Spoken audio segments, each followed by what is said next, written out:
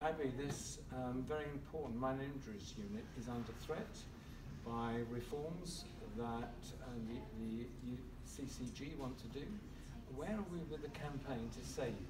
You made good progress.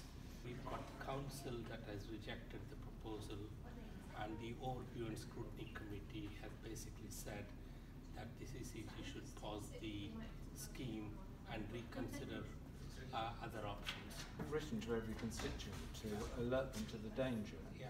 but I've also questioned the CCG. And to be honest, I don't know what their plans are. That um, people know what they would be choosing if they manage to axe this centre is anybody's guess, isn't it? Uh, you're absolutely right, and I think it is very confusing to complete the CCG questionnaires.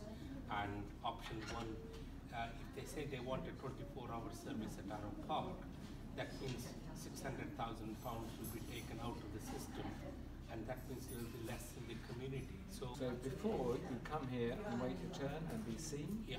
with the, ne- the necessary medical expertise, Next if the reform came through, then in fact uh, we'd actually, as an adult, you'd have to ring up and see where a doctor was that would actually treat you. they are saying that there is going to be more GP appointments, but otherwise they would have to go to the urgent treatment centre at Arrowe Park.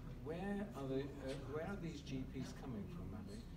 Um, they don't know. Uh, nobody knows because the system is already at a breaking point right now.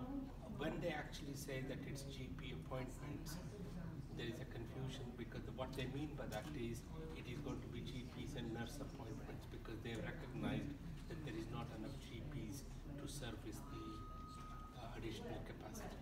But that's in a sense what you have here, isn't it? You're Yeah. seen by an ex- uh, a nurse practitioner, and then if need be, you're seen by a doctor. Yeah. In that order. Yeah. We have seven day GP service and we also have seven day nurse practitioner license. These are nurse practitioners, very experienced, who can prescribe, who can diagnose, and who can deal with very complex